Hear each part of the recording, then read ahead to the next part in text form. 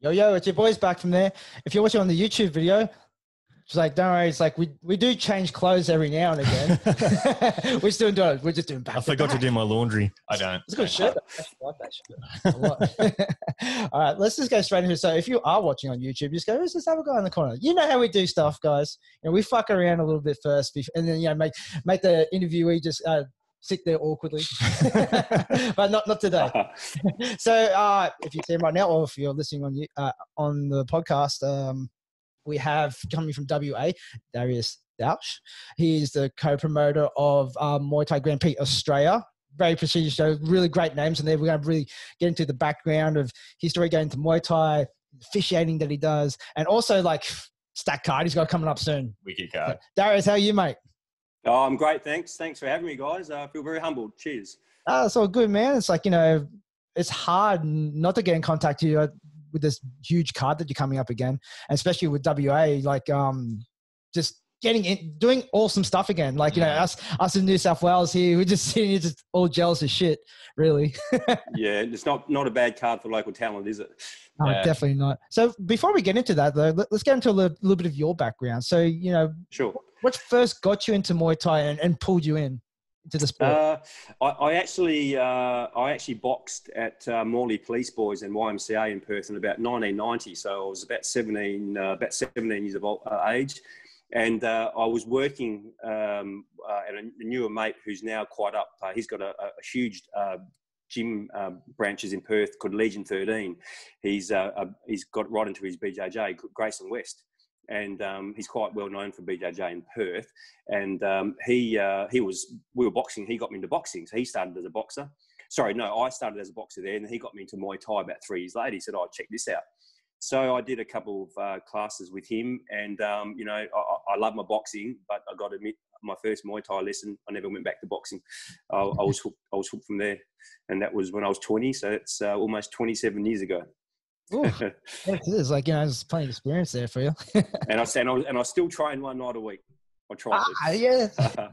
well, I guess it's, it's, just hard sometimes, isn't it? Like when you've got so many other stuff going on as well. Your life. Yeah.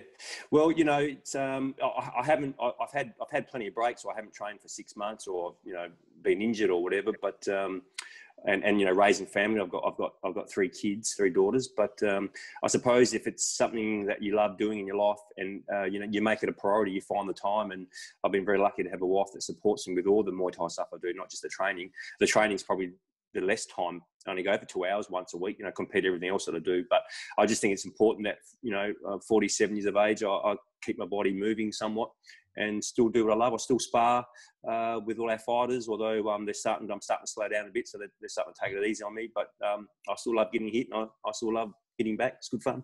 How's your, how's your yeah. back holding up? I've actually got a sore back right now. Actually, to be honest, um, I've had a sore back for some time, and I've, I've heard it the last three weeks. So yeah. I'm trying to get I'm trying to get it uh, right uh, before next Saturday because I've got uh, you know we've got we're going to rock up at the venue at 7 a.m. and I'll be there to probably 4 a.m. So it's uh, it's going to be a long day. Mine always yeah. hurts.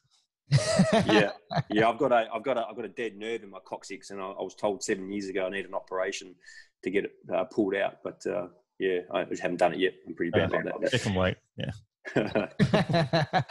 so, like outside, like you know, promoting and family life, what, what else do you do? What do you do in uh, for, for work? Uh, well, I, um, I'm a dealer principal. I run car dealerships in Perth.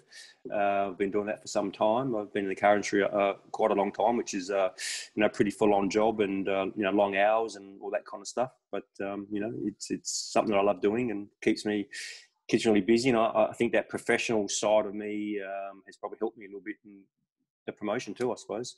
Hmm. Yeah, it's like, yeah. like you know, like myself, I'm I'm a very um, let's say. I'm a very young promoter myself, so it's like, just, yeah. I kind of, I, I didn't like the, the, when I first started doing like the romantic idea. Oh, this would be cool, We make cool fights. But all this other shit goes through. I go, man, this is this is full on. How does that stay in this game? yeah, we're, we're learning really fast, man. Our first our first couple shows, we uh, we didn't have a big team, and we did a lot of it ourselves, like grinded hard. I mean, the last show, the big one, we had Superbank and Aman Barlow. Mm. Um, you know, the, we're, we're on two basketball courts, and the venue gave me a regular old house mop to do the floors. I was expecting, you know, those ones that you kind of push up and down. Yeah. They, gave, they gave me a, they gave me a house mop and bucket, so uh, I was there till I remember still still mopping with um, with Gav and his and his wife till like five thirty a.m. five a.m. because you know the, the basketball court gets pretty sticky with all that spilt alcohol. It's a pretty it was a pretty long long job two basketball courts with a with a house mop. But we've got a we've got a much bigger team behind us for this show, and uh, you know we, we we've learnt. Um, I, I don't fancy you know mopping until that those hours of the morning again, but you know if, if we have to do it, we will. But we've got a lot more helpers, and I think that's the key. Now you've got two mops. yeah, yeah, that's right. Well, actually, this this venue, and we've got a this venue's amazing. Uh, um, you know, they've been pretty hard on us with all the COVID stuff because they're they're guided by the University of Australia board, so it's not particularly their fault, but it's been it's been really tough to uh, adhere to all their rules and regs and all the stuff they're putting us through. But uh, we've got black carpet, man, so it's a it's a real step up top venue. We've got uh, the, whole- the the the whole floor is covered in in black carpet and black beautiful you know um, curtains from the floor to the ceiling. And it's yes, it's a it's a far more professional look this venue. Oh, Yeah. nice. Black carpet top, yeah. Yeah. So before we get into the show from there, because like, oh, that's going to take up the, the whole episode. Go. let's Yeah, yeah. There's plenty to talk about on that one. Um, yourself, you, you um, you do a bit of fishing. You do judge, judging and refing as well. Yeah, so I'm the, I'm the head referee for WA for for Muay Thai Australia WA, and uh, I've held that position since 2013. Uh, I started judging 2001 or 2002, and then um, I think I started refereeing about 2007. Um, and then 2013, Dean Woodhams, who was my trainer, if you like, my my the previous head head, head official, he retired, and um, I was lucky enough to be asked if I wanted to replace him and I've been doing that role uh, ever since. And uh, hopefully, I keep doing it for many, many years ahead. It's like um, uh, like you said there, like you, you spent a long time uh, judging before you, you ref. Was there a certain uh, process to uh, where you did that, or like you just felt like, oh, good for a change now after a while? Yeah, no, I, I from day one, I always wanted to referee. There was no doubt I was going to be a ref. And uh, at the uh, at the gym, uh, I was a coach of at the time under Oliver Olsen with Olsen Muay Thai Factory. Um, Olsen uh, Oliver was actually uh, one of the first to do a lot of gym shows in WA. And um, as far as when I say gym show, I'm talking about you know sparring, sparring days, of course. And um, so I started refing those sparring days, even though I was a you know I was a judge, but I, that was just my my intro into doing it, and that really gave me a really good um, apprenticeship, if you like. I must have done, I reckon I would have ref at least 40 gym show sparring days, fights, 40 bouts before I even did my first proper official bout. Um, but I would have judged easily. I mean, I judged for, I would have judged for uh, probably uh, six years, seven years maybe before before I before I ref. So uh, I always wanted to referee, but I really wanted to get a lot of that that judging of my belt, and uh, I, I wanted to be just 100% all over my judging and before I felt comfortable because you know jumping in that ring man and and and refing you know you get you get a lot of people in the crowd and I'm, I'm quite vocal on this and this is another story but you know I, I will take anyone on that um, you know that wants to take pot shots at a decision or um, or uh, what a ref has done or what he hasn't done if they're watching 50 meters away blind drunk at 11 o'clock at night and Yeah. never done it before never done it before you know so so you know, it's it's a big thing to do and um, you, you've you've got to be you've got to be you know you've got to be cherry ripe to do it um, you know, George Mann, um, you know, he had his he's been judging on my team for a little while now, and he he did his first. Uh, it was his first day refereeing at uh, Origins, and you know he did an amazing job for his first day. I don't think I've even told him that, so uh, well done, George. But um, he he did an amazing job, and but it shows his many, many, many, many years of of experience that he was able just to easily get in there, referee, and it was and his refereeing uh, was seamless. Um, so it's all about timing. Roy Wills is probably the best up and coming ref that we've got in WA, if not Australia. He's in my team. Um, I uh, as soon as the rules uh, went back to allowing current fighters to be able to be officials again, I, I jumped all over him and wanted him back on the team. And um, you know he, he's an amazing referee. So Yeah. it really does. You know you don't want to judge for like a year or six months and then just jump straight in there and ref. I, I, you know, but some people can do it, and and and that's fine. And I've allowed some of those people to do it in my team. But you know, I am I'm a I'm a pretty hard taskmaster, and I will sit back and I'll watch their judges. And I after every show, I always look over the scores um, of the judges, whether they're new or experienced. And you know, I know when someone's ready, and that's when I then I allow them to to to jump in there and ref. That's a big thing. are finding um, a lot of people wanting to feel the like, like uh, No, is it? No, No, no, no. So it's um, look uh, certainly, certainly, um, and again, probably uh, me being a bit of a hard taskmaster, I certainly get lots of people inquiring about it, but I'm, I'm pretty, I'm pretty fussy on on who I allow. I'll let anybody shadow judge. Anybody that wants to give it a go, I'm, I'm all ears. So, so I'll let them shadow judge, and then I'll know by their shadow judging. Um, and you know, I'll normally before I let anyone judge, like they normally have to shadow judge three or four shows first um, and I'll, I'll go through the scores. And if the scores aren't right, not matching the decisions, I'll make them keep shadow judging, or there'll come a time where I might say, you know, um, I don't think you'd be, you know, you fit for MTA judging, to, to be honest. Um, um, but you know, we we we you know we like to think that we're a pretty good um, you know um, organisation when it comes to how we train, how we and how we coach our up and coming officials. Elias does an amazing job at a national level, and um, you know I try my best at a WA level. And um, you know we only you know we got really good people coming through. Um, you know years and years ago when I took over, there was a lot of flack, and you know I was a new I was the new head official, and for my first couple of years, it was uh, copped a lot of flack. Uh, not, not me personally, but just you know the team and, and my team. And um, you know, Facebook can be a pretty volatile place when when when when you know coaches and fighters and family of those fighters want to vent. Um, so you know, I had a lot to deal with back there. But I've got to say, Perth, the last four or five years, um, there's hardly been any flack. And uh, you know, I know the coaches pretty well now. They will always call me, or most will message me the next day, and we'll have discussions. And I'll be honest with them and tell them why uh, their their fighter lost or, or, whatever. And uh, we normally just you know thrash it out over a good chat. I think that's the best way to bring it, really. Yeah. You know, it's like it's like especially like um just the education of gyms kind of learning. It's like, you know, I'm always down for listening. For the, I think I can always get better. You know, that, it's yeah. just lucky that we live so close to proximity of like, you know, Elias and, and Trevor Lawler already. Um, yep. It's yep, uh, for yourself uh, in, uh, in WA, how do you find the education in most gyms when it comes to scoring Muay Thai? Um, Oh, that's a hard one. No, it's this, is, this, this, is probably this is probably the contentious one because I actually um, I actually I actually go around. Gyms will ask me to come and talk to their fighters, and I'll invite them, and I'll I'll tell them I'm available to go and do that. Um, and I and I will and I, I did um, I did one of Perth's top gyms only a month ago. I won't mention who that was, uh, but I went and had a really good chat to their fighters, and you know, surprised well, surprising or not surprising, not surprising for me, but really. Um, you know, fighters and coaches, not many of them read the, the rules and regs that's on the MTA uh, website. That's the first thing that you should be doing. So I go there with copies of the rules and regs, hand out to all the fighters, and then you know whether I'm discussing the duties of a referee or or, or, or judges and how we score, I'll go through the rules and regs, read a, a structured program, and, and, I'll go through it one by one. And um, you know I, I, I know exactly what the reaction is going to be uh, because I've done it enough times now. But I, I still get a kick out of watching fighters see something, and then you can see the penny drop in the head and then I'll say to them, "Hey, man, you've got to ask questions," you know, because I can see they're thinking overtime they don't really want to ask, and I'll always make sure that they're going to ask me and put me on the spot. That's fine.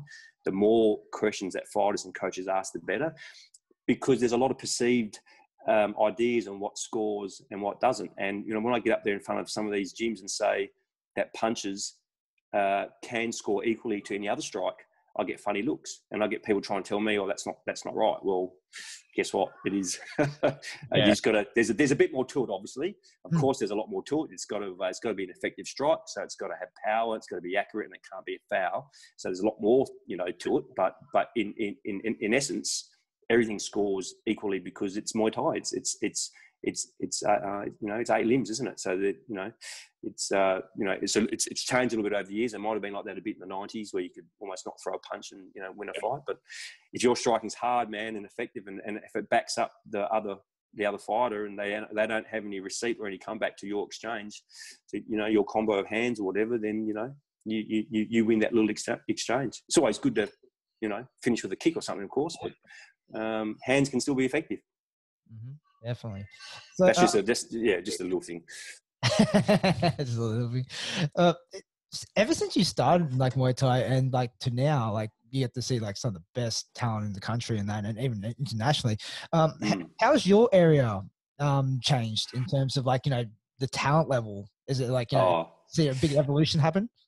Man, WA, um, you know, well, firstly, the professionalism of, of WA Muay Thai, and that's that's the fighters, that's the coaches, that's the officials, you know, the commission, um, you know, like them, like them or loathe them, the commission has definitely added um, a level of uh, accountability and professionalism back on back onto us, the officials, but the coaches, the gyms, the fighters, you know, everything. So, um, you know, the the the talent, the raw talent coming through. Like back in the nineties, you know, we can all name the top four, five, or six or seven WA fighters. There was there were some legends of Australian Muay Thai from WA, and you know, most of them are, are, are legends now in the co- coaching field. Um, but there's but you know, those shows back then was there was a show every three months you know, you might get a you might get a show every three months in W. You might get four or five shows in for the year if if, if you were lucky. Um, now it's just it's just it's massive, and you only need to walk into some of the big gyms and look at the facilities. And you know, some of the facilities of these gyms are just amazing. You know, the, the, the some of these athletes, I won't say they're spoiled, um, but compared to what we had in the in the mid '90s, it's, it's chalk and cheese. And you know, we we didn't we didn't know what strength and conditioning was in the '90s. We didn't uh, we didn't do uh, we didn't believe we didn't well, not so much believe we just didn't combine weights with uh, with with Muay Thai or, or anything else. It was just running uh, and pad work, man, and and sparring. That's what we did. And uh, now there's just there's so many different levels to it, and they're just so lucky. These athletes, these fighters, and even non-fighters who just want to go and train a couple of times a week. The amenities they have in some of these gyms, you know, it's it's amazing. Hats off to these coaches that have that have been able to, you know, provide that to their people. Yeah, it's like uh, the yeah, almost like just spoiled in terms of um just the level like you know high level coaching you got mm. over there. Like yeah, New South Wales we got great coaches as well, but like it just yeah, seems yeah. to be abundance in like WA, especially. Yeah. Yeah, the, the, the, obviously the coaching is probably the biggest difference because back in the 90s, the current coaches that were students and fighters back then, there was, you know, Muay Thai was, was you know, we've got to remember, Muay Thai was, was, relatively new. And when you consider Pon Marti really brought Muay Thai properly to Australia, there was another organisation that obviously did as well, but I suppose Pon was more the authentic Muay Thai. And I think he started in Perth in 1988. So, you know, and, and a lot of WA's uh, coaches today or best fighters came from Pon's gym. But when you consider the amount of coaches back then in gyms, there was probably three or four in the mid 90s, and that's it, where, where all the talent came through now there's just a massive abundance. And even coaches, and, I, am not trying to take anything away from the coaches today in Perth who maybe weren't, uh, didn't have as many fights as, uh, as, you know, as some of these guys in Perth, as some of these coaches. They might have only had 20 fights or something back in the day, but they've, they've uh, adapted and learnt so much um, since that they're still A-class gyms as well, you know, and um, you know the, the, talent that they're, they're getting through and you know the patience of coaches and their technique in, in teaching you know, it's chalk and cheese. People today have such a big choice. Like if you want to, um, if you want to join Muay Thai on Monday night, right, and you live to the centre of Perth, and you got a choice. You got you got to choose. Do I go to a north river, south the river? Where do I go to find a really good gym? Man, that's such a hard decision. Such a hard decision to find the right gym. Is there is there a reason why uh, Muay Thai has grown so much in WA in particular? Uh, well, we're talking 25 years, man. You know, 25 years is a long time. I think everything grows in 25 years. Um, certainly, um, you know, certainly uh, the health and fitness industry overall has exploded in Perth. I mean, you know, five, six years ago, who, who, who knew much about F45 or, or, or CrossFit, you know, and, and those industries have exploded. So I think as, um, as all the offshoots, anything to do with health and fitness has has grown. You know, Muay Thai has just been one of those avenues that has grown with it. Um, and you know, as the popularity increased, and you know, I, I, think Foxtel had a major part of that birth. and and international kickboxer. You know, I used to love. I've got so many of those magazines in my boxes in my yeah. garage. It's not fun. um, yeah, yeah. And you know, I think because you know when you think about it, today's younger generation, uh, you know, they're so lucky of social media, or we all are. But back then, we had to wait for international kickboxer to, to see what the see what all the goss was and who's fighting who and where, um, and watch and watch uh, the fights on, on Foxtel. So certainly, um, you know, as myself as an up and coming promoter, you got, you got to look at um, promotions such as Evolution, yeah. Um, and you've got to really thank um, Nugget and his team and and and you know Foxtel for what they did uh, for Australian Muay Thai, and you know WA is no exception. You know we we you know we love that, and I, I think that was part of the explosion of Muay Thai in, in Perth, especially, uh, was having all that all that visual, you know. Um, and it's not there anymore on Foxtel, is it? But it's but it's everywhere on, on your phone or your iPad or what have you. So um, there's still there's far more avenues now to keep up keep up with everything. Yeah. Last night, last night, for instance, you know, watching Josh Tonna. You know, you can sit there on your couch and watch it on your phone. It's it's a new world. It's amazing. Mhm. Yeah, definitely. Um, yeah, those evolution shows they're awesome back in the day. I remember those. Yeah. like, um, Oh yeah, was that yep. uh Eugene Ekkelboom? Is he a um WA boy? yeah, man. Yeah, I man. He, he, like, oh, it's great. he, he, he's got. Um, I think he's he's he's always had his own gym uh, affiliated with another gym. And I think he might have just broken away or, or got his own gym called. Uh, I think it's just called Boom, which was his. Uh, you know, uh, Eugene Ekkelboom. Um, man, he. Um, you know, you, you guys know much about his fighting career and his background and all that kind of stuff. You know, he's a multiple-time WMC world champion. He was he was legit as legit gets. And um, he's definitely one of Australia's best. That he'll go down as one of Australia's best for sure. Hmm. Yeah, I, I remember like um one fight that sticks to my mind was him versus Masood. That was a Yeah. hell of a Yeah. fight. That one. yeah, one, one of my favourite uh, Dutch fighters that actually fought in Perth. I got to meet him, and get get photos with him. Uh, late nineties was a, a Dutch fighter called Rayan Simpson, and um, Eugene fought him at that Jamaica show. Hmm. Where um, who fought in Jamaica? I think uh, did Carnage fight that night? Yeah, I think it's Nice just, choice. Uh, yeah. And didn't Was- um, was- Wayne Parr fight Borkow as well? yes, yes, yes. That's right. Yeah, Oh, yeah. Eugene fought uh, Ryan Simpson that night, and, and Simpson back then was one of the best uh, fighters in the world, and you know one of the best Dutch fighters. We know how tough they are, and you know uh, Eugene, I- I believe he broke his arm with just those kicks. You know, those just hard kicks, and yeah, Eugene was a man back back in his day. I definitely was. Mm. But with most of the shows that are going around um in W at the moment, like uh how many of them are like MTA shows? Is is that other is, is MTA like the most prevalent like um I don't know sanctioning body there in, in WA? Yeah, look, yeah, look. M- MTA has been, um, you know, has been, uh, uh, you know, I'm a little bit biased, but has definitely been, uh, you know, the, the you know the, the number one sanctioning body in, in WA for some time. Uh, there's no doubt that uh, you know WBC are um, starting to have a bit of a, an influence on shows. But um, you know, when you think of the shows like, like you know Riddler's Epic, for instance, um, you know Riddler's been a, a long time um, supporter of, of MTA. So he's he's Epic are always sanctioned uh, with us, and Riddler's also the president of WA, by the way. So um, so you know he's a, he- puts in so much time into MTA. So we're very lucky to have someone like himself and and Andrew Nelson. Uh, I'm actually I sit on the board with those two guys, and uh, you know um, so we're we're you know we're we're biased MTA guys. But you think about the promotions in the past with Chantel's Futures and Domination. And ignition um, and origins, um, you know, um, you know, MTA WA has, had a pretty has had a pretty good uh, yeah, ha- has had a lot of great shows uh, under their banner, and we've, we've been very proud. And for me, as the head official, they're the shows that I'm head official for, and uh, you know, it's a, it's a privilege to, to to put the officials team on that night for those shows.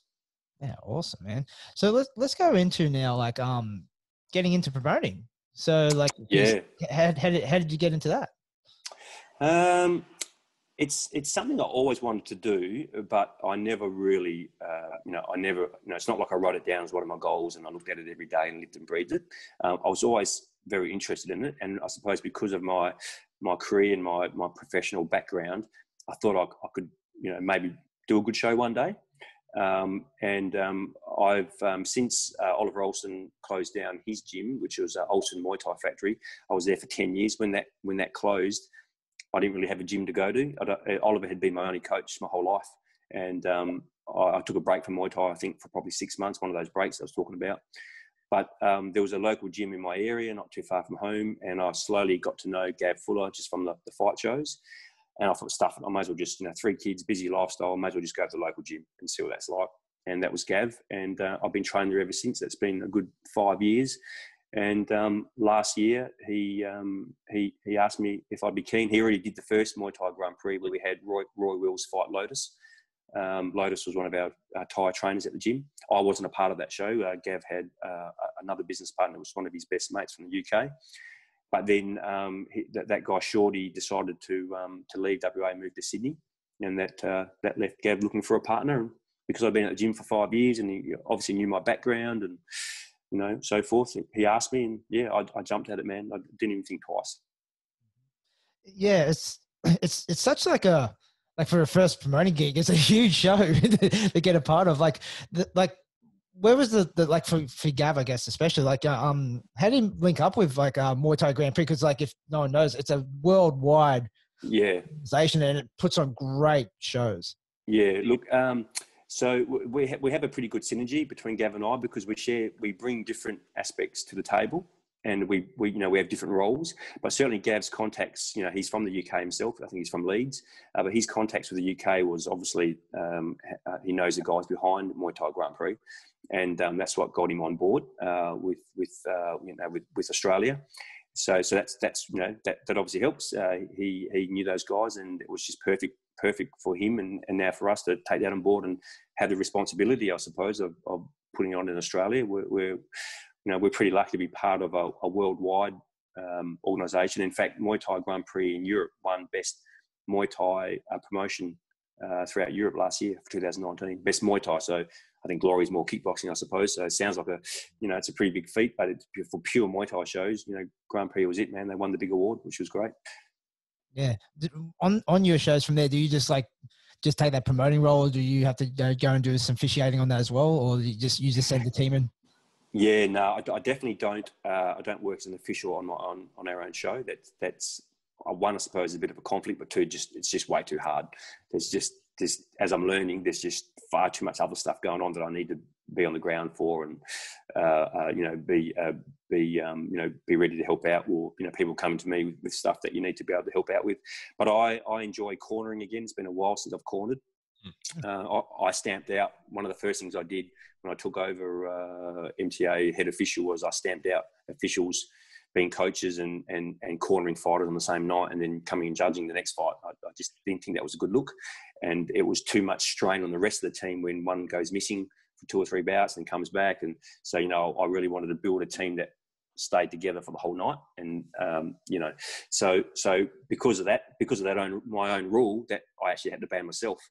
Uh, so I did it. I, I did it originally um, when I was um, coach with Oliver at Olsen Muay Thai Factory. So, so, um, so I, you know, I, I, had to stop that. But working on my own show now, I get to corner with Gav, which is uh, something I still love doing. You know, done it for such a long time, then had a break because of you know being an official. So I really cherish that. So I'll always, um, I'll always, you know, be happy to corner on my own show. But um, I do a bit of commentary as well. So I'll, I'll jump on the live stream and I'll commentate with with Kaylee. And Minnie T and uh, Daniel Dawson, Adam Bailey. We've got some we've got some pretty good dudes over here that can that can they can commentate so uh, I, I love doing all that kind of stuff, you know.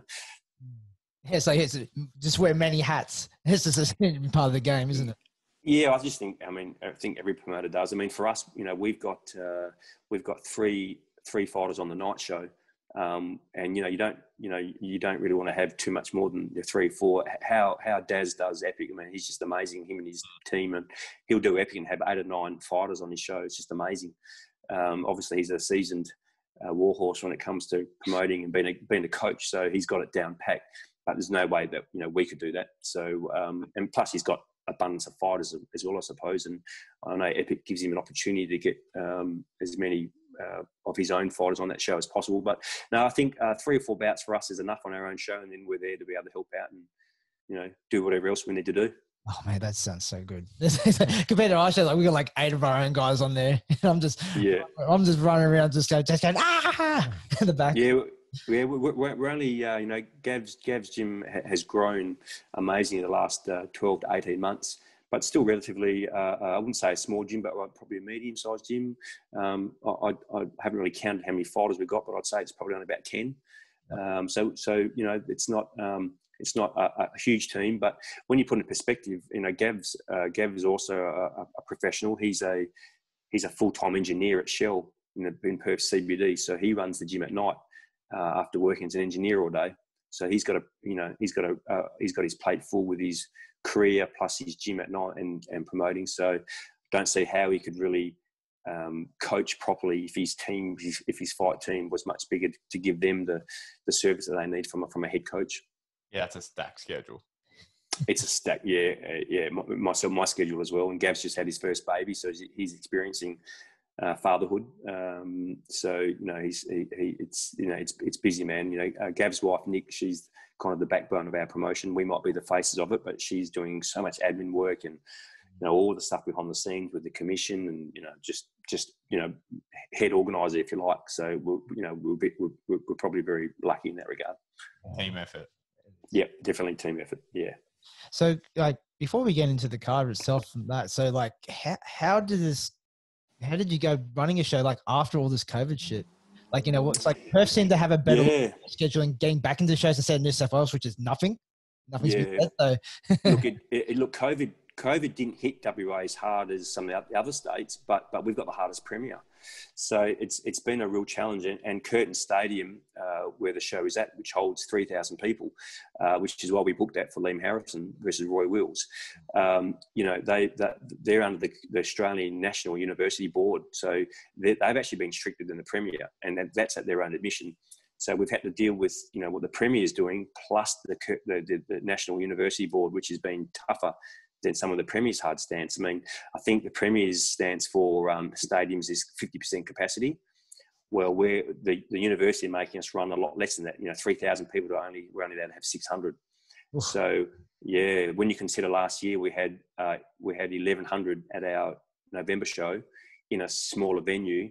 We've got a much bigger venue with only six hundred people. So it's you know it's a big hit for us. Um, and you know it's not all about uh, uh, financially, I suppose, but you know we, we do need to at least break even to keep doing shows. So this has been really tough on us. But you know we uh, we really want to step up our production and um, you know we're never going to be you know uh, you know we're never going to be like you know UFC or One FC or something like that. But we want we want it visually to be as good a, a, a view as possible for the live audience, uh, but also for the for the viewer on the on the live stream. So you know it's a bit unfortunate that this show there's probably going to be a lot of emptiness uh, in the background uh, because with the stadium seats, uh, every second row is, has to be kept empty for this show, and there has to be an empty seat between each person. So we've certainly got our challenges to make sure that that is uh, carried out on the night. Um, we will be posting about that during the week about some of the stuff that, that we need the crowd to be able to help us with. We don't want uh, we don't want the venue to not let us back there. So we've got to we've got to adhere by their rules and regs. But um, you know uh, the way the way we're looking at this, and we had this chat the other day. You know if if we can pull off uh, two shows on the one day in the middle of COVID with all the rules and regulations they put on us, you know, moving forward, that puts us in good stead to do a show anytime. you know, Yeah, and fair play to you guys for just really trucking on. Like I know it's, probably crossed your mind a a lot of time. It's like let's just put on a show when everything's back to normal, so you don't have to kind of exactly. Yeah. But we, um, we nearly we nearly pulled it, man. We, we were going to pull the show. Yeah, yeah. You yeah. mentioned the two, the two shows. Um, touch touch on what you've done there. Um, to kind of accommodate the, the crowd issue with your, your two show situation.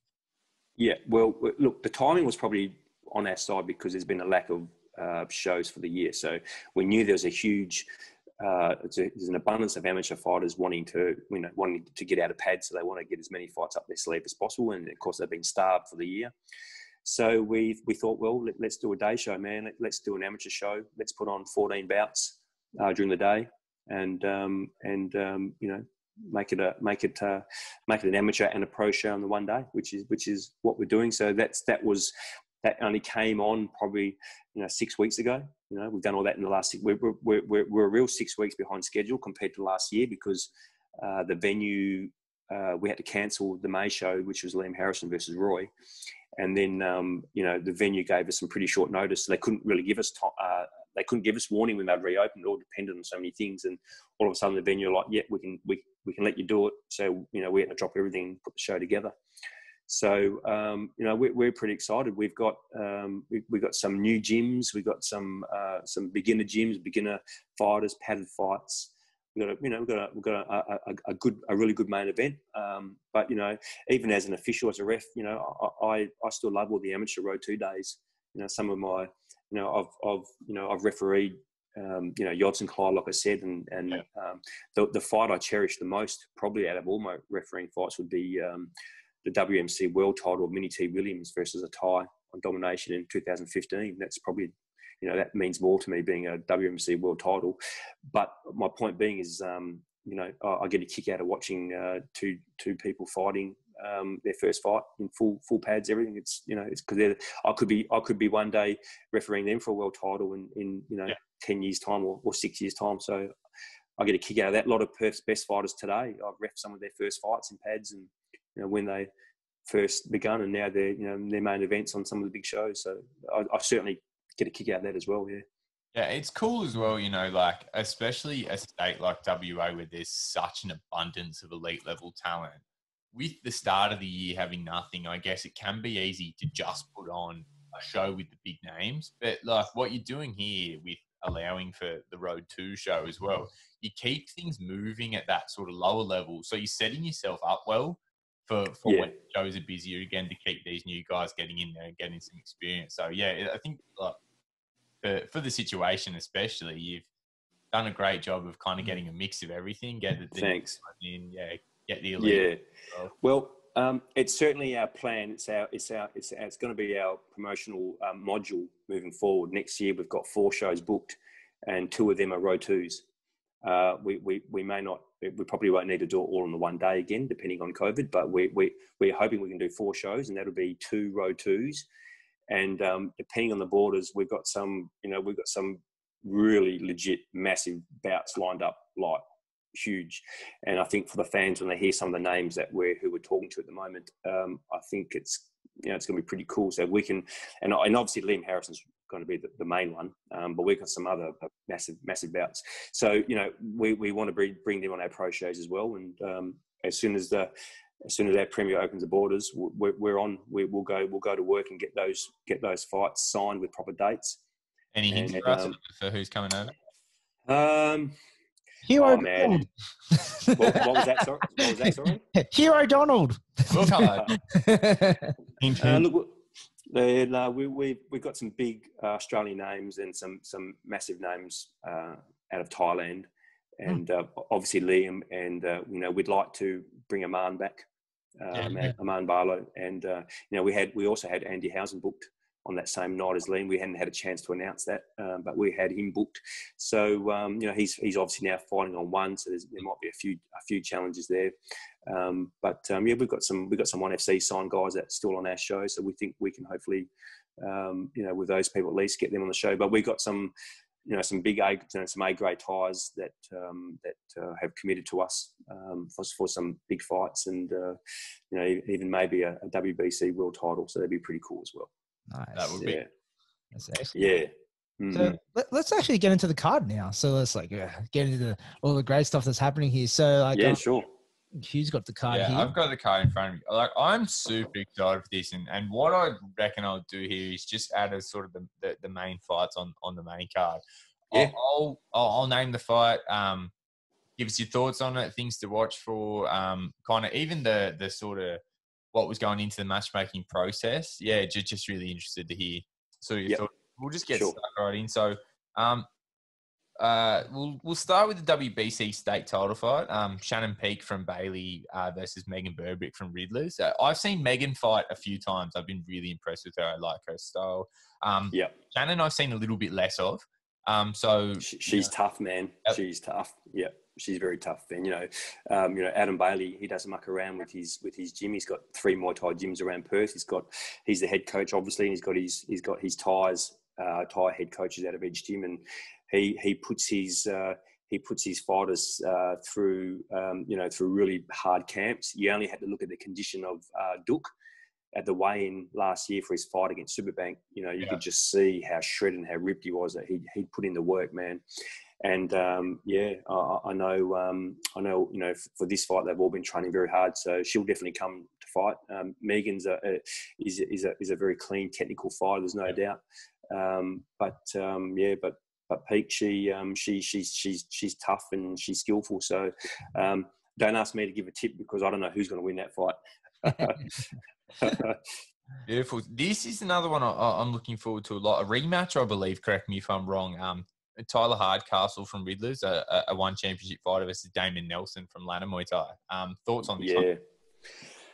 Yeah, mate. Um, you know, Andrew Nelson uh, from Lana, he, he's, um, I mean, he's not, I, I, careful how I say this, I don't mean this disrespectfully. In WA, everyone knows how good his gym is. He's only a small gym. He's a very, very technical gym. The rest of Australia may not know too much about Lana Muay Thai. But, um, you know, he is, um, you know, Andrew's a very technical coach and, you know, he wins, they, that, that team win a hell of a lot more than what they lose. And, you know, Damien Nelson, I really rate. I rate him as one of Australia's best um, prospects. He's only in his early twenties, or maybe I think he's just turned twenty-one. So still, still a young man. Um, look, he's after redemption, isn't he? And as a promoter, we love that. It's uh, it's it's it's the rematch. Tyler, I actually refereed that their their previous fight, Tyler versus Damon on Epic. and um, you know that was going to be that fight was going to be the battle of the head kicks because Damien's got a hell of a everyone everyone talks about Tyler's head kick. Well, you know Damon's got a hell of a head kick on him as well. And um, you know, I always I was ready for that as a ref. You know, it's good to know your fighter sometimes, and I, and I was ready for someone to throw a head kick. I just knew one was going to go down, and uh, it was Tyler that pulled it off. And yeah, he he, he knocked uh, he knocked Damien out, and uh, Tyler got the W. So yeah, Damien uh, Damien Damien's coming coming back, and obviously he wants he wants to win. So just a, just a cracking matchup. Yeah, really really good matchup.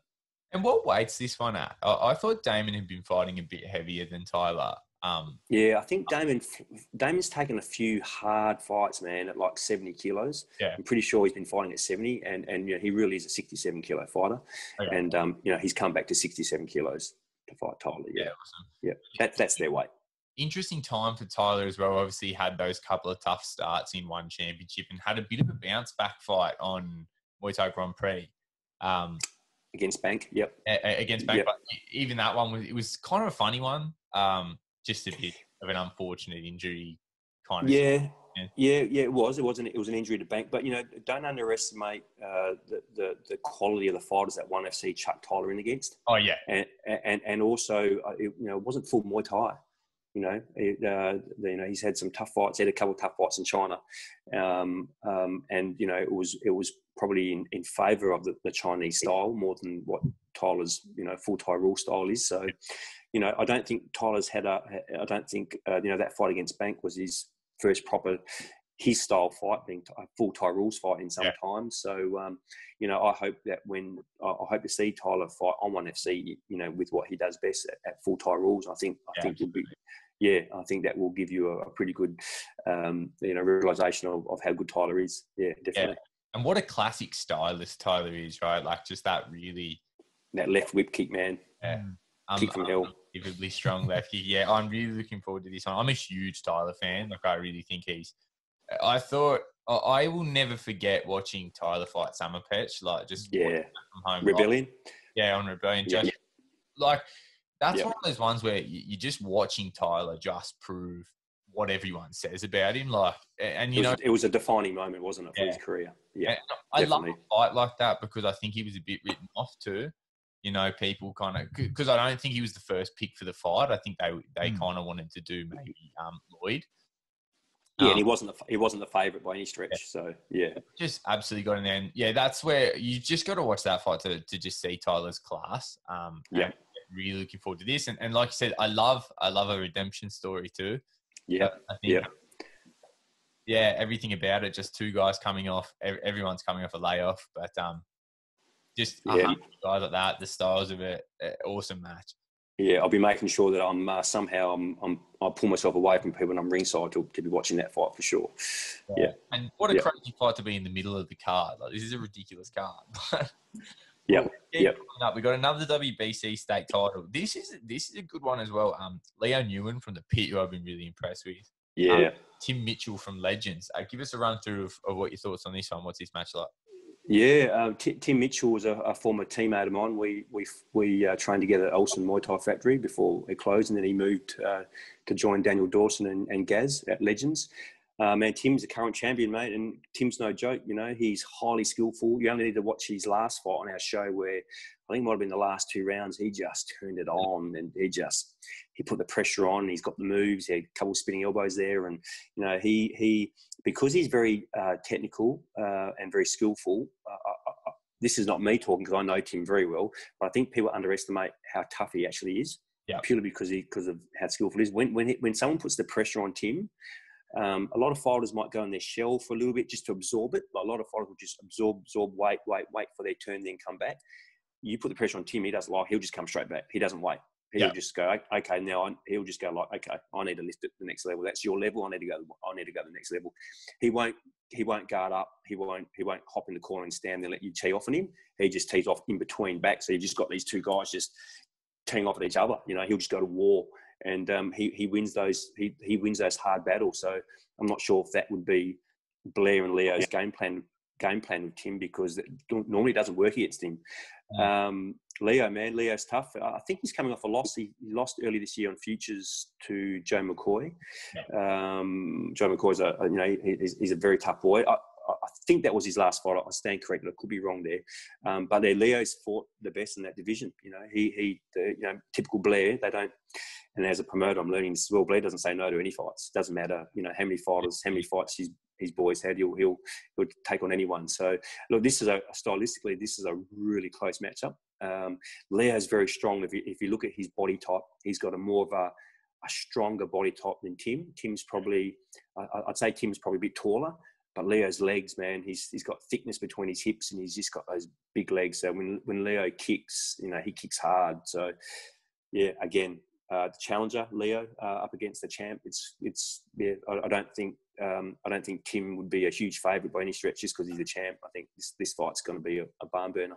Yeah, I think across the board, all the fights here, I don't, I don't think there's many you could pick. Um, a, a big favourite in down this card, or all kind of coin. So close, yeah, yeah, and that's what that's what we love, man. Like we did that last year, and um, you know we, we love that aspect of our of all our bouts. Uh, and you look at Duke versus uh, Superbank, and you know everyone who's followed Superbank for many years knows that how how, how good he is, and or, or more to the point, how good he used to be. So um, I think Duke. Was, I think Duke was yeah one of the legends, hundred yeah. percent, and I think Duke was was underestimated and we love that about our bouts. And and Duke was the underdog, and, and he won. You know, I, I don't like seeing fights, uh, seeing shows, and I won't name them, but you see a lot of shows where the, there's just mismatches for their hometown heroes to be the champs, and it's it's not good viewing. It's not good for the promotion. I don't believe, and I'd much rather have a promoter. I'd rather look at this fight and go, man, I've got no idea who's going to win this. Yeah, mm. and that's that's, that's what we pride ourselves on. Yeah, it's always kind of our sports thing compared to like boxing is like no one gets no one gets the the that slow build up. It's just like you got two two flip a flip a coin. That's what we're about, you know. And I and you know I'll give all that credit to my partner Gav. He, he's our matchmaker. Yeah. I, I, think for the night show I might have matched only two of those bouts. He, he's he's literally matched the rest of and all the daytime bouts as well. So Gav's a very good uh, matchmaker. He, he he knows all the fighters in Perth, and you know he, he loves that aspect of it. And that's getting back to what I said earlier, how we both have our roles. Yeah. And certainly, certainly the matchmaking is, is Gav's role because he because he does a bloody good job of it. Yeah. Yeah, matchmaking's an art, right? Like it's just hundred percent. Don't realize it's not just yeah. finding two guys that submitted their names at the same weight and just making a draw. It's like it's a different, oh, great show. Gav, and if Gav like, looks their Gav looks at their record. He looks at their style. He looks at their last. You know, it's not just that. He look at their, their, their current form. You know, the last couple of fights, and you know he'll look at and say, well, you know, he, has got a good eye to say, well, that guy's had much less fights, but his last three fights has been unbelievable, and the other guy who's got a much better record might have dropped off a bit. Now's the time for these two to meet. You know, you catch them a year earlier or a year later, it might not be the right timing, but he, Gavs just has has this knack to get these you know these guys together at that right moment. So um, that's what that's what gives us the good bouts, man. Yeah. Yeah, absolutely. And speaking of good bouts, this next one I think maybe like I I was really interested when I saw this one announced. I think maybe a sleeper for one of the top fights of the night because it, it, was one of those fights where I saw this one announced and I was kind of like, oh, okay. Like it was just a bit of like a, a surprise one. Um, Lucas Sayer versus Marco Tentori. yeah. That's, good fight. There's like generations between yeah, that, but it's yeah. like it's it's a good one. Like, you know, the old, uh, like you know, the old bull there, yeah. Marco Tentori versus the young up and comer, Luke said. There's a great narrative to that. Yeah. Oh man, I, I, could I could go on about this bout for a long time because you know I've got I've got an affiliation with uh, you know with Lucas's coach Carl. He was a teammate of mine at Ulster Muay Thai Factory, and Carl's gone on to do amazing things with with uh, Frankie at Diesels and become an integral part of that team. And you know I, I've I've refed and judged Lucas since he started, man. So this is this is a highlight for me. And then and then you talk Marco, and um, you know, like I said, I, five years ago, I I ref Marco versus Yod, Yodsanklai. Um, that was a great bout. I've seen I've ref Marco many times. In fact, I've, I've said this quite often. I'll say it again. Um, Marco is the hardest. Any fight that Marco's in as a referee, he's the hardest bouts to ref. And the reason being is he's not pure Muay Thai he doesn't stand there and bang. He moves like no one else. There's no one in Australia that that that burns energy and moves in and out like Marco does. So um, you know, um, he, he's he's on Marco's on his bike, and as a referee, you've got to be on your bike to get out of his way because he comes at you at complete, not just the fight of the ref. He comes at you at all these different angles. He'll come in and he'll hit you two or three times, and then he's gone. You know, and a, as a ref, you've got to predict where he's going to go because you don't want to be in that spot. Because the, the worst thing as a ref is a fight if you bump into a fighter. The, there's two bad things. There's two of the worst things that happen to a referee. One is a fighter bumps into you, or you bump into them, or the doctor blows the horn. Uh, because you weren't, uh, you know, you weren't looking after the fighters uh, as well as you should have. So, you know, that that and with Marco, that's that's tough. So, look, Marco's a veteran. I think he's 35 years of age. He's not a, you know, his background. It's not not all Muay Thai, right? Obviously, he's learnt Muay Thai, but he has a kung fu back. He has a kung yeah. fu background. Man, right now he's got the best ring entrance in Australia. He uh, have you have you seen him on Epic when he comes out with the uh, the dancing the Chinese line? Yeah, uh, yeah, he comes out with that, and it's it's an amazing spectacle. So you know, I love I love the fact that he, you know, obviously I'm biased and I'm I'm a, I'm, I'm, I'm Muay Thai through and through, but I love the fact that Marco brings something different yeah. to any of the show, to any of the shows, not just mine. He brings a different fighting style. He, he brings, uh, you know, he, he, comes in with the with the, the, dancing line and the kung fu flags in his corner, and he's got his he's got uh, Alan Pond as his coach, but he's got a, a kung fu coach in there with him as well. So it's just it's something different. It's a treat. It's a good spectacle, and you know, Marco's tough. I mean, I, I don't I can't remember Marco ever being knocked out. Um, it's like you know, sure. different unorthodox, but like he bring it, he brings yeah. it. So he brings it. Yeah, he, he, he, he, he, he, and you know, let's not forget, Marco's hopped in the ring against Australia's best. In, yeah. in in Muay Thai, coming from a different uh, background of martial arts, and you know, you, you, guys know he was a WMC Australian champion for some years, right? Hmm. Yeah. So so you know. Um, kung fu background and he's beating some of the best Muay Thai fighters in his division. So hats off to him, you know. Yeah, man, he gave Yodsanklai a good go. Like, sort of scored a little flash knockdown in that fight. Like, yep. Oh, you remember it? Yeah, good on. Yeah, yeah, yeah. He, look, hard it's, out. It's it certainly took Yod a couple of rounds to to work Marco out. Yeah, and, and that's that's Marco style. Uh, look, I haven't watched that fight for a long time, but Marco May won the first couple of rounds off memory. Um, I think once Yod got going in the third round, I think uh, you know he probably won third, fourth, fifth round yeah. pretty pretty easy to be fair. Uh, but it took it did take Yod some time, and yet you know you, you know Yod's probably not at his peak right now, is he? On one back then he was. We're talking five years ago. Yeah, yeah. Mar- Marco fought uh, uh, um, fought him in 2015. So you know Yod was at the top of his game, and you know yes, there, there was actually um, there was a knockdown because how could I forget that one? Because there was a bit of flack over uh, over me for not giving Yod an eight count. Um, but anyone who's anyone that knows, you know, that was a flash knockdown. He, oh yeah, absolutely. Yod, Yod, was up so quick it wasn't funny, and um, he, you know, I've got the best view in the house. His eyes weren't blurry. He was straight. His guard was up, and so that's you just jump in there and it's box. There's no there's no eight count for that. Yeah, yeah, no disagreements there, but still, for, on mm. Marco's side, still was having success against still a feat. Yeah to get. Well, um, it was. I think it was a little sneaky elbow that actually that actually got Yod. Yeah. Uh, a lot of a lot of there was a lot of social media talk saying that the referee missed missed the actual elbow. It's like no, I didn't miss it. I saw it. I, I knew what got what put him down, but but it was but it was still a, flash. You know, if he'd got up and wobbled a bit, or if he'd taken a little bit of time to get up, then fine. That that's an A count all day long. But he didn't. You know, he was he was a professional. He knew what he had to do. Yeah, to avoid it.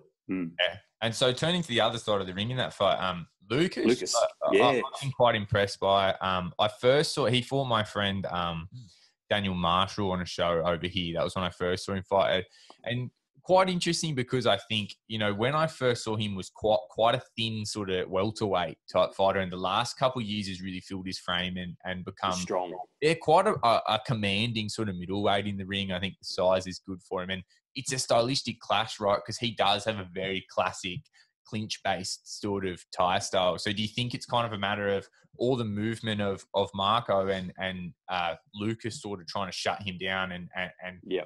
grab a hold it's, of him?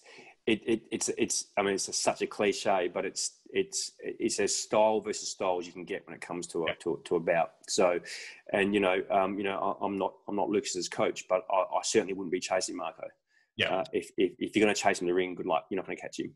So um, whatever they decide to do, you know, they're going to have to make sure they're not chasing because Marco's a technician at keeping his distance, racking up the points.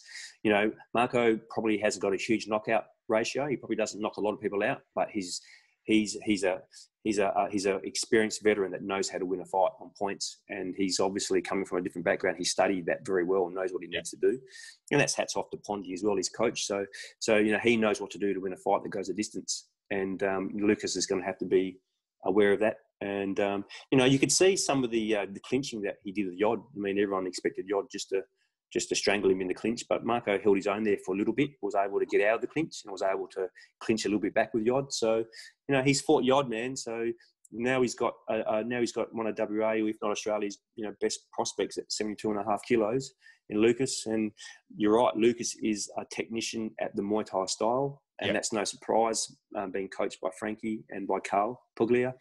So yeah, it, but, but he's tough. You know, he's got the style, he's got the heart. I mean, I've seen him in some absolute wars yeah. in Perth, and like Last I said, I've no war, right? Yeah, hundred percent. So um, yeah, so I, that that is actually such a, a, a sleeper. Um, but I will I will let you in on something. Uh, are you guys aware who Marco was originally matched with for my show for that for Muay Thai Grand Prix? He was matched with uh, Milad. Okay. Milad. Milad's, com- yeah. Milad's, com- Milad's, com- Milad, Milad's, Milad's the man.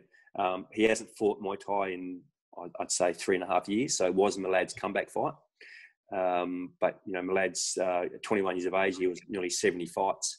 He's now 24. He's had a couple of boxing fights, destroyed everyone in boxing um, with liver shots. You know, just just just a great hand technician. But you know, I, I know Milad quite well. I talk to him often, and and um, you know, he's hungry for Muay Thai. He's probably got a limited window left, maybe three or four years, and then he's going to pursue a boxing career. So, which which you know, there's no doubt he's got a huge boxing career ahead of him. Um, but he's got some unfinished business in Muay Thai, and, and one of them is to regain some of the belts that he had. And um, his, you know, his first fight back uh, is uh, is hoping. Uh, you know, we, we tried to put it on in May on the on the on the Liam show, but um, at this stage we're trying to match him for our next show, which will be the main event for our Row Two. Hopefully, it will be Milad versus Marco, but um, you know that's not confirmed yet. But that, that's what we're working on. Maybe, maybe Lucas comes in and steals that spot, right? Like well, yeah, we if if if if if, um, if Lucas wins convincingly, then yeah. you know we'll, we'll have to wait and see. But you know, we we did promise Alan Pond and Marco that fight, so um, I, I, prefer to you know stick to what uh, you know. It's not their fault. It's not their fault that fight didn't happen because of COVID. Yeah. So you know, if they want that fight and if everyone agrees, then you know would would still probably put, would want to put that fight on. Yeah. Yeah, but either way, like I think with a win here, Lucas definitely cracks that upper echelon, and then so even that sort of um Marco versus Lad fight happens, and then maybe mm. still go. I think it, it, proves his place. Like he could definitely go on to fight a guy like Malata. Yeah, even if, even if Lucas loses a close one to Marco, yeah. mm. um, you know, uh, you know, Marco's beaten plenty of people, great champions easily. So even if he loses a, a you know, in a, in a, one thing that Lucas will bring is there'll be an all-out war. I can guarantee you that. So if and you don't often see Marco in all out wars, if you if you know what I mean by that, Marco is very, like I said, he's very smart at racking up the points and moving around.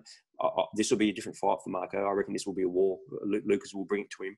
So you know, if Lucas was to beat Marco or, or put in a really good fight in a, in a, in a close close decision, win or loss, either way, I think it's it's huge for Lucas. Yeah. Yeah, could could put that that that, that middleweight division on notice a little bit. Yeah, absolutely. Yeah. Well, well look, look at the, the weight category. Look at how many great fighters there are that way yeah. in WA. You know, you're talking George Mann, Chris Watt, Marco, um, Milad, Lucas. Uh, there's some some other guys coming through. Michael Herbs from the pit. You know, he's only an 18, 19 year old boy. He's going to yeah. be anything. You got Riley from Riddlers. I mean, yeah, there's, Some, there's some hardcore.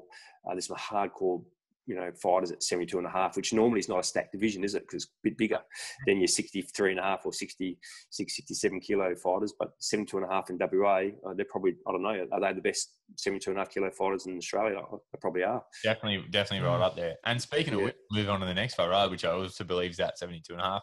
Chris Kilowatt versus um, uh, the George skyscraper, George Mann. un, un, un, unbelievable bout, isn't it? Yeah. Um, you know, you know, it's really at the point now where George can't really get fights in WA. Yeah. Um, he, he's he's got um, you know he's got an amazing fight coming up on domination against Stefan Lottering. That's that's that's that's that's a cracker. Stefan's a current WBC Australian champion, so that's going to be a great fight. But you know he's got to get past Chris Watt first, and um, again you couldn't get two different styles. You know, mm. Chris Watt, you know, don't, don't, and you know, don't take that away from Chris. He's definitely a Muay Thai technician, but he's got hands. He's got yeah. bombs. So Chris, Chris is Muay Thai, but he's got big hands, big, big hands. So you know, um, you know, uh, George. Surprisingly, if you know George, we all know he's he's got a very good chin. When you look at him, you think, well, has he got a chin? but you only have to see that fight uh, against Smoky Joe, Smoking Joe, Yeah. where he had where he had the hematomas come out. You know, he, you know, George copped those blows and fought hard all the way to the end. So we know George has got a chin. Um, you know, Chris Watt definitely has to be very, very wary. You know, everyone talks about the teep of George's teeps, and you know his teeps are very good and very defensive and very good for keeping fighters away. Really But long. it's but it's that fake knee and then a step up left knee that he just digs into the body.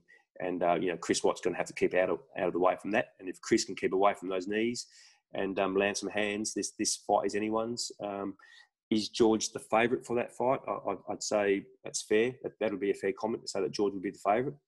But um, you know, I, I know Daniel Dawson and Gaz very well at Legends, and um, you know, Good there's no way. That, yeah, there's no way Chris Watt's going to fight the same way other people have against George and lost. That you know, what, what's the point? So I'm, I- I know they'll have some game plan up their sleeve. Um, you know, this fight's going to be more about strategy than just brawn, if that makes any sense. There's going to be a lot of strategy to this fight that, that Chris Watt's going to have to stick to, and and George Mandel, we know what he's going to bring. He'll have to stick to his game plan. And will Chris's game plan be enough to upset that or not for George to continue with it, or will George have to mix it up a bit? Hmm. Yeah, and that's the thing about fighting George, right? You have to have a plan. Like you've really got to, 100%. like you can't just go in there like let's see what happens. Like that's a a really tall order. Um, excuse me. Pardon the pun. With the Yeah. sad, sad trombone, where is it? Yeah. and, and, and, and, and you don't you don't realise how big George is. Have any of you guys actually stood next to him? no, I haven't. Mm. Yeah, so I'm I'm six foot one, and he just towers me.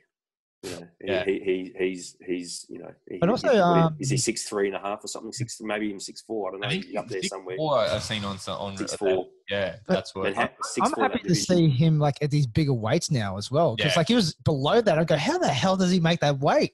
Like, like this one's Yeah. now. It's good for him, make yeah, him even bigger. him. Yeah, good for He, him. he, he, he- he's a professional man. You know, I- I'm pretty sure. I don't think Stefan's fighting. Uh, I'm pretty sure that fight's 76 kilos. I, that's what I. um, yeah, Yeah, don't quote me on it, but I'm pretty sure George is, you know, and and in hats off to Riddler and George because as much as that's the fight that everyone wants to see, you know, that's a that's a that's another weight to be. That's a lot of, uh, you know, he's coming up quite a bit to take that fight. Yeah. So, you know, 72 and a half to 76, that's a big jump up. And, um, you know, hats off for him for, for taking it. Um, you know, him and Chris Watt, him and Stefan, you know, Australian fight fans, you've got uh, two cracking fights to see. Uh, George Mann, a part of both coming up. yeah. And and so it's like, remember when George was fighting? Like, not even that long ago. Remember when he fought like Alexi Petrulius? Like, Yeah, yeah, yeah. a hellacious weight cut. Well, he wasn't. He was younger then too. I mean, was- George. George is. I mean, George technically he's still a prospect, isn't he? Because of his age. Yeah. We for, we forget that. I think he's. I mean, is he twenty one? I mean, I Something like that, 21, 22. yeah, he, he- he's, he's, he's still a very young man. So yeah, the Lexi fight and the Tum winner fight, I refereed that, and Tum was you know very short, Yeah. and uh, and um, you know, but but you know, Tum Tum was a very good. Uh, you know, Thai fighter, yeah. and George, George knew at a young age. Probably talking two years ago, that was on Epic. So George would have been like nineteen, and he just fought that fight perfectly. What you expect a taller person to do to use his weapon, to use his reach, um, and he know the thing with George, you can teach tall people how to use their reach. It's a it's different to actually see them do it yeah. Yeah. as, as as perfectly as George does. Yeah, we've talked about this about George before. It's like it's all well and good to say he's tall and whatever, but it's not just how tall he is and how big his frame is. It's how he knows the science of being a tall fighter, and a Yeah. lot of tall fighters don't. Like he's really like it, it's he's a class technician. He's he's Yeah. a world beater. I can't think of any tall person in the game that uses their advantage as well as George does. Yeah, yeah, he's a smart fighter. He's a smart fighter. He's yeah, smart yeah. That brings up, uh, up to the main event. This is an interesting fight. Um, we got Yeah, one of WA's favourite ever, and one, one of Australia's favourite ever. Um, really a, world class fighter in the Rebel Roy Wills from the pit. Yep. Um, and taking on an opponent who's you'd say taking a pretty big step up here, um, Max McVicker. yep, yep. Uh, Look, yeah, Run through it. Yeah, Ma- Max is definitely taking a step up, but for a lot of West Australians, um, you know, on, for, for when I say outsiders, probably people who don't know Max, this probably looks like Roy is definitely going to be the favourite, and, and, and perhaps he is. but for a lot of Perth people, everyone knows, everyone's talked about Max for five or six years. He's, he's only an 18 year old kid. We, you know, we're Mm. talking about a junior who was, who was schooling adults in Thailand at, at 15 years of age. Yeah. So Max is not, he's not, he's not a normal 18 year old kid. Let, let's be very, very clear on that. And, you know, Gav and I wouldn't put this on. I mean, we've got a lot to lose if this main event was a whitewash. Yeah, no so, so, so there's, there's just no way we'd put this on if, if we didn't um, if we didn't have you know a bit more knowledge in, in, in this in this uh, in this bout. And um, you know, I know Roy very well. He's he's one of my officials on my team, and he's I've known him for such a long time now. And he's a great young man, and, and probably you know one of the best well-spoken fighters going around. And um, you know, Max is an up and coming. And, and if you if you listen to Roy's interview on uh, Muay Thai interviews, Yeah. if you listen to Roy's interview on Muay Thai interviews the other day, you know, Roy made a very good point. And you know, hats off to Roy. He talked about when he he and Toby were up and comers, and um, they were given big fights by Australian champions at the time, by Yeah. well known. They were given that opportunity. He's experienced that opportunity that Max is now experiencing now. So he says it's it's his it's his pleasure, if you like, to give back to the sport of Muay Yeah. Thai to, to be that champ and to offer that fight to Max. Now, on that, I mean, Max is the current, you know, Max is the WBC Australian champion right now. Yeah. So, so he, he's a national champion. So, so, and he has fought um, two very good fighters to win that and to keep, you know, he fought, he beat Zach Innocent Yeah, yeah. and Stephen Stephen Kirk on our shows last year. And you guys know how good Zach is, right? So um, they're from Riddler's Gym, uh, very very fought Superbank last year. Zach main event in Sydney. So Zach Zach is an amazing fighter, and you know Max beat him. Max um, Max has got a different level to him that not a lot of people would see, and um, he is. I don't know if you guys have seen much of Max. He's very very skillful. Yeah. Um, he's got beautiful Muay Thai style. He's a stylist. He won't rush in and bang with Roy. He'll be very patient, and uh, he, he's. I mean, I love counter fighters. Anyone that can fight fight on the back foot with with such skill and grace is just beautiful to watch, right? And Max is one of those fighters, but um, Max can turn it on as well, Yeah. and that's what makes this fight exciting. If he couldn't do that, if he didn't have that uh, that string to his bow, um, maybe it wouldn't be such an exciting fight. But if Roy's going to pressure on Max, Max will pressure back. Yeah. He won't just sit there. He won't sit there in the back foot and let. He won't let Roy tee off on him. And um, you know, and, you know, Max only has to wear a few of those whip kicks from Roy in the body or the arms, and um, you know that'll that'll you know you can't cop that all, all for five rounds. So he's going to have to give something something back. So yeah, Max is very skillful. Um, you know, Roy, I, I, I could be talking out of school here. Max is strong. You only have to look at Max's legs, but I, I, dare say Roy's probably a bit stronger than Max. Um, you know. Roy's very very strong in his legs and his upper body. So you know, it'll be um, you know, uh, is Max? I mean, I don't think there's a better body kicker in, in the country than Roy, or, or he's one of the best body kickers. So One Max definitely. You've ever seen in Australia. Yep. Okay. Big call. Yep. Yep. That, that's massive. Yeah. He, he's definitely got that whip kick. I, I've seen it firsthand. Refing, I hear it when I'm right there. Um, so, so yeah. So it, it, it's a step up for Max, yes, but I don't think it's a bigger gap as what people think. Is what I'm trying to say.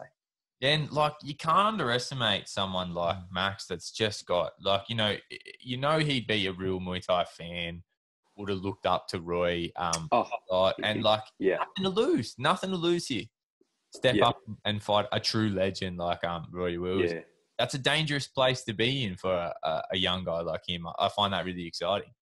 Yeah, and look, um, you know, uh, someone who's who's good on pads doesn't make them a good fighter. But to get a stylistically look at Max, everyone hop onto our Muay Thai Grand Prix Australia Facebook page and look at the interview that uh, Gav did with Max during the week. And there's a bit of a pad session with Max on the pads, and he's just um, he's just great to watch. Even even on the pads, I like watching him. You know, he's um, he's he's he's very he's very skillful to watch.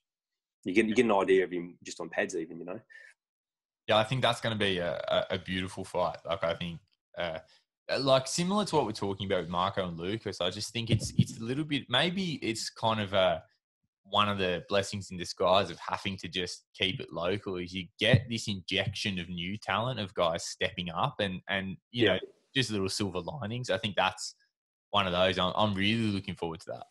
It, it, that's a very good point because had the borders been open, we probably wouldn't have matched George versus Chris or, or even Max and Roy. So these are fights that, that have happened by default.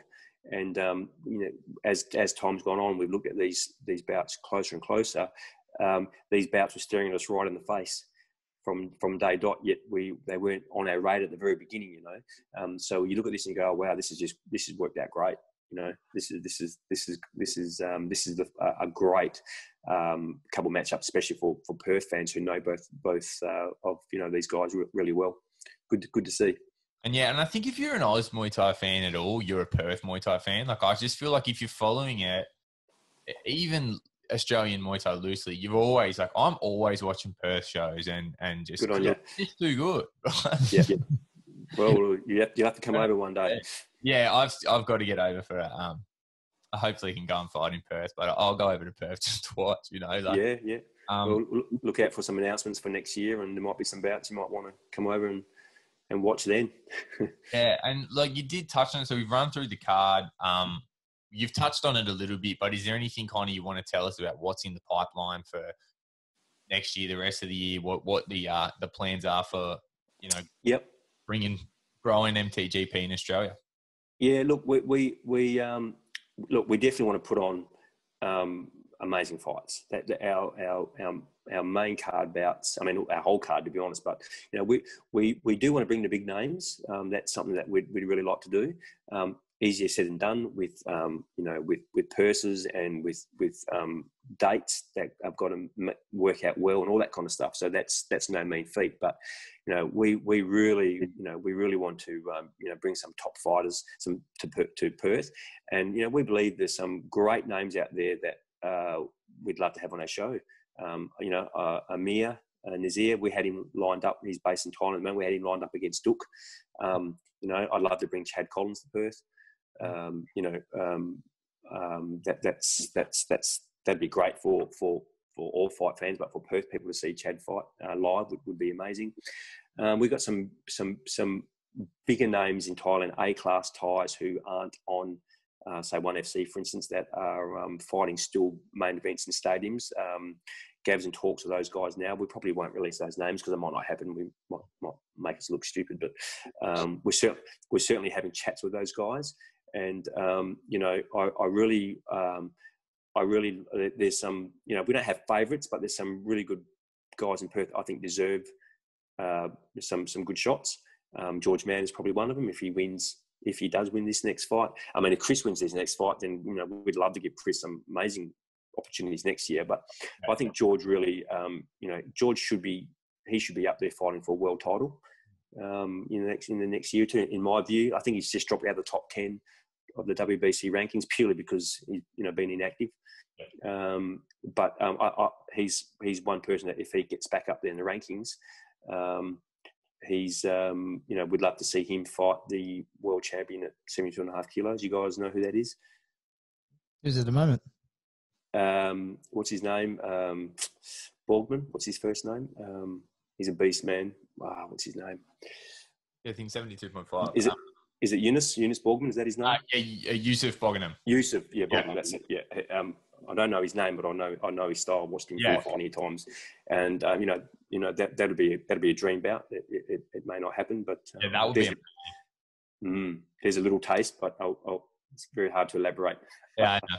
I know, but that's a, a look. Obviously, big plans, big things in the works. Um, yeah, it's cool to see. It's good to see that um, that kind of compromise between um, how invested you guys are in growing WA talent, but also at the same time that the way that you guys really want to bring. You're talking about elite stadium fighters. You're talking about guys uh, of you know um, Yusuf's caliber. Like if we could get uh, fights with those guys on on Australian shores, that would be amazing. And it grows the sport at the world level to just allow yeah uh, allow our yeah, guys yeah. opportunities and and you know it may not be that bout, but there's there's plenty of other divisions and, and fights that we'd love. I mean, we want to give them all, all a chance. I mean, I mean, yeah, there's uh, you know bringing Liam bringing Liam to Perth is certainly our number one priority, yep. and um, I, I, you know we we definitely want that fight to be with Roy. Um, but if it's not Roy, we'll make that fight happen with someone else. You know, Jordan Godtfredsen is a is a huge name in Australia. Chad Collins, there's a lot of people worthy of, of that fight. So, um, you know, yeah, you know, we'll, we'll you know we'll, we'll, we'll talk to their people and do whatever we can. But I really love to bring Iman Barlow back as well, man. She's she's amazing. I don't know if you saw her fight uh, yeah, last last year. She's you know she's she's elite. She's yeah. world class elite. One of the, one of the best females in the world. So um, yeah, would love to bring her back as well. Do you have someone in mind for her? I know she's come she's come over to this part of the world and she's fought um, Yolanda and, and then Brooke. Do you have uh, someone in mind? Yeah, um, I do. It's, it's, hard to say. Look, there's a couple of good girls that are signed to One FC. Yeah. Um, yeah, Australian in particular, which is probably would make that a tough matchup now that Iman's signed with One FC. Yeah. So, um, so look, you know, it, it, it, look if it's not an Australian, we'll bring someone else. We'll bring a Thai. We'll bring an A class Thai. You know, um, it's not not the smartest business model. You want to have a local fighting a champion uh, because it obviously it helps helps you fill the venue. But if it mean, I mean, we we we did Aman versus Brooke. Brooke's not a Perth girl. We put that fight on. Yeah. That that that's as a promoter, if you put your promoter's hat on and you just want to talk dollars, that that's that was a silly fight to put on. Um, but we didn't do it for that reason. We we just knew that was going to be a great fight for Muay Thai. Yeah. Um, and you know we're not afraid to do that again as well. If we have to bring someone in at that A class level for Man, then you know we'll do it for sure. Yeah. Yeah, it's like you were touching on as well. So for, for this show coming up, it's, it's I think I read it's sold out now. So, so the night show is sold out, um, and although although saying oh the show sold out sounds amazing, uh, that's not really um, Mm. You know it's great that is sold out, but it's not really anything that we've done anything special. Um, we're very restricted in the numbers, so we're only allowed to have 600 people. The uh, we changed to this venue, Curtin Stadium, because it holds 3,000 people, and with bringing Liam Harrison to Perth, we thought we might have been a chance to get close to that. Um, but of course, the numbers have been restricted to 600. So, you know, we had almost double that in the last show at a smaller venue. So, you know, um, when we say it's a sellout, we don't mean to be sounding like we're gloating or anything because we're not, because it's only 600 people. So, um, so that, because of that reason, yes, it's sold out. If, if, if it wasn't for that, I'm, I'm, sure it wouldn't be sold out yet. It would still be selling tickets on the door on the night and all that kind of stuff, which we we're not doing now because it's, it is sold. But the daytime show, um, you know, that's not sold out yet. So there's still there's still tickets. Uh, there's still the GA Stadium seats available, and I think we've got about uh, we're down to about ten tables left. So we think that'll probably we'll probably sell out the tables uh, this week.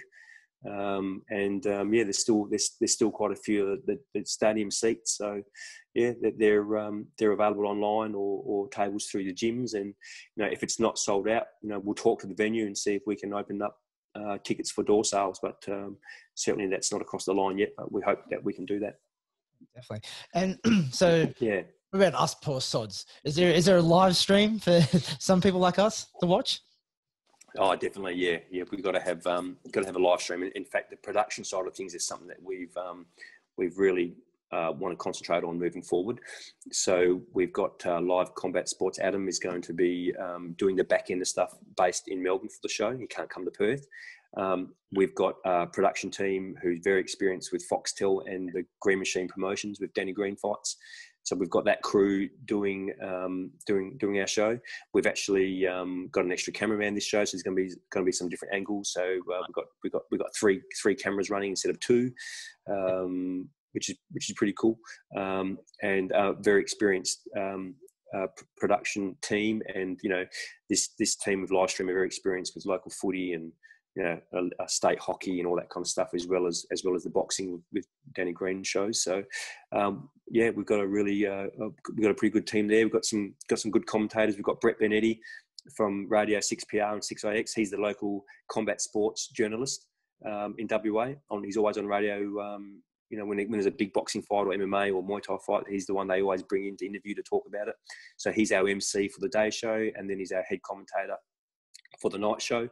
And commentated alongside him will be um, uh, some people that we've had on our show before, giving their expert, um, you know, Muay Thai comments. I've, I've, condensed the amount of people we have this time because when you've got too many people come in and out, uh, it, it changes up too much each fight. So we've got uh, we've got Kaylee Reese, who's a great commentator. I've got uh, I've got Minnie T, Minnie T Oh. um, commentating, who's really good.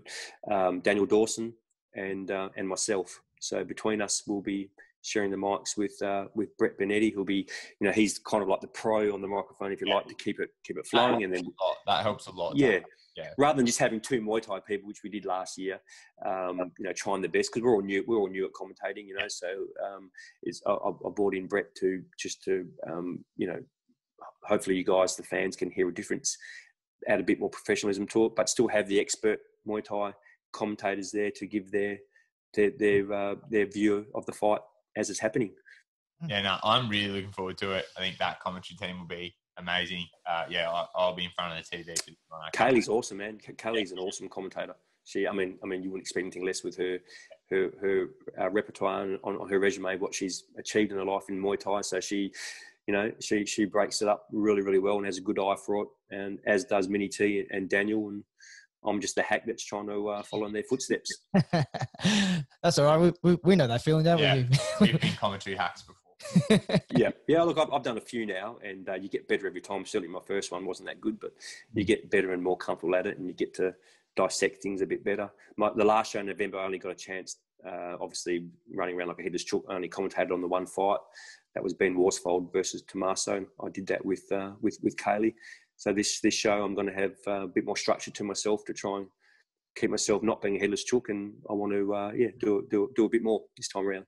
Yeah, great, excellent. So, look, uh, I think we covered it all, and it was great. It was great talking to you. Yeah, Like, really. we, we could do it's like it's one, really another good chat. episode again. We could go another hour if, if we if we had the time to do it.